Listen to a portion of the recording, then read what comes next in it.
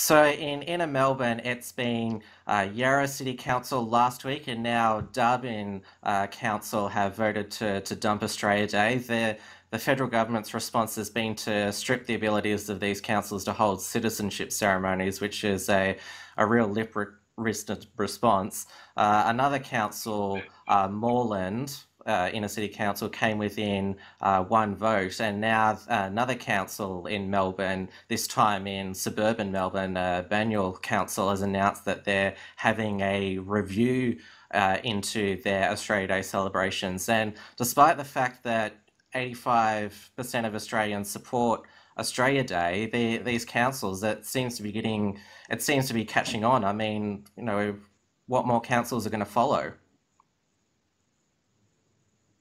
Well, I, I think that it obviously isn't a true reflection of Middle Australia or, or any normal Australians. You say that 85% uh, support keeping Australia Day on Australia Day uh, when Captain Cook discovered this great land. Uh, but there's obviously uh, an there's obviously an influx of Greens uh, members into these council groups, and uh, with their Marxist ideology, they want to wipe clear uh, all of our proud history. Um, pretty much, I think, uh, for uh, because they believe in this concept of white guilt, that the white man is uh, is essentially you can blame him on every single failure. Um, and I think this whole white guilt uh, phenomenon is is infiltrate is in these uh, far left inner city councils, and I think that's why uh, we are having uh, this push to change Australia Day, uh, which is just awful. Oh, well, you can't actually say that uh, Captain Cook discovered Australia because, of course, Stan Grant has said that the the Captain Cook statue in Sydney, he wants the engravery uh, taken off that says he discovered Australia because it's insulting to indigenous civilization. So that's even another front that uh, this attack on Australia Day is taking. They're they're now attacking you know our statues and the our cl uh, colonial leaders. Well, no one says, um, no, we acknowledge, Andrew Bolt said this perfectly, we acknowledge that there was Indigenous people in Australia, uh, but, but we say Captain Cook discovered Australia because he was the first man to circumnavigate, I believe, the southern hemisphere, discovered Australia and New Zealand and, and whatnot. That's, uh, that, that's what they mean by discovered Australia. It's, it's not to say that there weren't Indigenous people before then. It's like when people say that Christopher Columbus discovered America, yes, there were there were Indians there, but he was the first Westerner to discover America. Likewise with Marco Polo in China. No one's disputing the fact that there weren't any Chinese there, but they're just saying that he was the first, uh, I guess, Westerner to discover these uh, lands in the Far East and in, in the Deep South. So the the way that I think it's uh, taking definitely literal literalism from the far left, um, and they're just trying to undermine our values and institutions. Uh, I definitely think, I mean, Australia Day, in, in my opinion, uh, is the founding of modern Australia. Like, of course, nobody denies that there was an Indigenous civilization before that, but the modern Australia, with all the uh, uh prosperity and freedoms we enjoy today, what it did start on uh, January 26, 1788.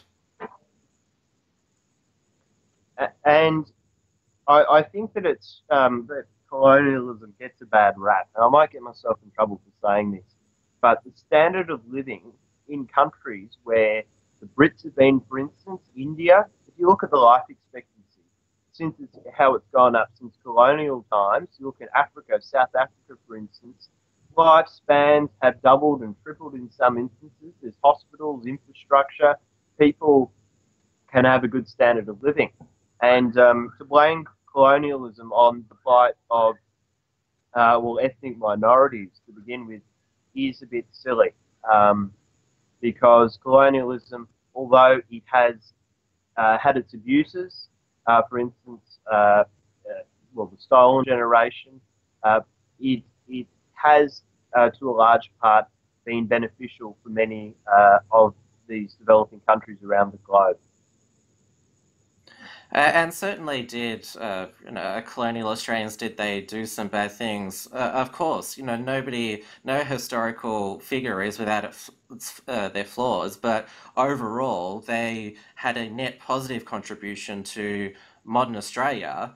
And, you know, basically, and you mentioned Andrew Bolt before. He said that we're going to have, at this rate, we're going to have to basically uh, disavow every uh, prime minister up until the White Australia policy was abolished.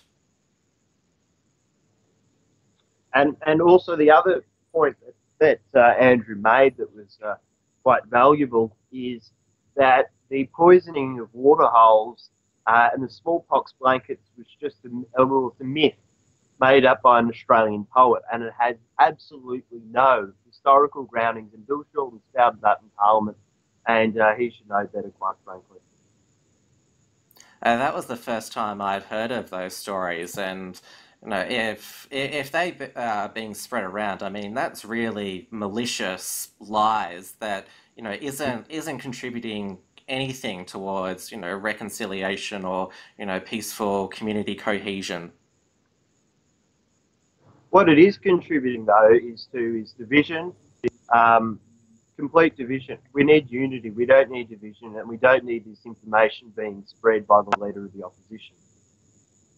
And that's why some uh, Indigenous uh, leaders have actually come out against these uh, inner city uh, councils in uh, in Melbourne at the moment, uh, because they they don't actually have many local Indigenous people, the, the ones that do live there, are, are middle class. There's an excellent Alice Springs councillor, Jacinta Price, who said that you know this uh, changing of Australia Day does nothing to you know help uh, you know the problems that are going on in Indigenous communities with um, you know uh, domestic violence. Uh, for example, she said we need to stop with this virtue signalling and you know look at actual solutions. Well, these symbolic gestures, as you said, don't change the rates of alcoholism, domestic violence, and incarceration in Indigenous communities. It's just posturing, gesturing, and virtue signalling. Uh, and if we if we are to get uh, reconciliation with our Indigenous people, uh, certainly changing the names or taking down monuments or changing Australia Day isn't the way to get there. Uh, and certainly they're taking a leaf out of what's going on in the United States at the moment with the taking down of all those uh, Confederate monuments because the, the left, they, they are being successful at getting these monuments taken down. And so uh, it's often said what happens in America comes here. And uh, lo and behold, the, the left are trying to do the same thing to Australia's history. Well, it, it's a plague. It's a plague of craziness that's that's what I'm calling it. Uh, these people in in America, um, uh, I I describe them in my article on the uh, the ACL bombing as pretty much the modern day equivalent to the red shirts. Uh, they've got a far left Marxist agenda, and they want to rewrite history in a way that suits their ideology and their cause, and uh, they they don't really care about anything uh, but excelling their ideological Marxist cause. Oh, well, the, the positive thing is, is, as I mentioned, 85% of Australians, based on a recent poll, support Australia Day. So it's the Australian people just need to, to make their voices heard that, you know, we don't want this. And it was interesting, Seven News in their Vox Pop on the street, like, of all the people they asked were saying, this is, you know, ridiculous. What are they, what are they on about? We just need to, you know, get, get through to you know, have some sort of reform of these councils so this type of behaviour can't go on. And I, I believe that Malcolm Turnbull revoked licences to issue Australian Day citizenship um, ceremonies at these councils, which is a good first step. Uh, we need to take a stand.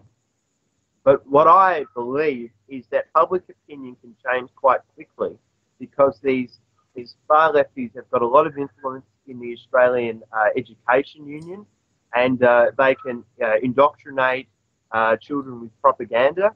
I, I, for, for instance, have been indoctrinated with uh, let's change Australia Day policy. Let's create an, another flag that doesn't have the Union Jack on there because it's a symbol of oppression. So this, this indoctrination is happening in schools, and before you know it, public opinion will change, much like it happened with same-sex marriage, just because of the indoctrination, propaganda, and um, constant uh, advertising and pressure by groups such as Get Up. Uh, I probably disagree with that. I mean, young people might be progressive on other social issues, but definitely when it comes to Australia Day and uh, you know pride in the nation, they they are still very firm supporters of that. Well, well, we can only um, hope for that, Tim, because if we start to lose um, pride in what makes us great, what makes us Australian, uh, then we will be going downhill quite quickly. Uh, if we if we get divided by race, if we accept the doctrine of intersectionality and dividing everyone by race and class and religion, except in, instead of accepting everyone as Australians, uh, then, then I do see Australia Day maybe changed in the future, come 20, 30 years' time, when this doctrine of intersectionality and this Marxist doctrine takes hold of our institutions. I can see it changing. So we really need to make sure that what our youth are being taught is liberal, pro-democratic and pro-Australian and, and definitely none of this Marxist hoo-ha.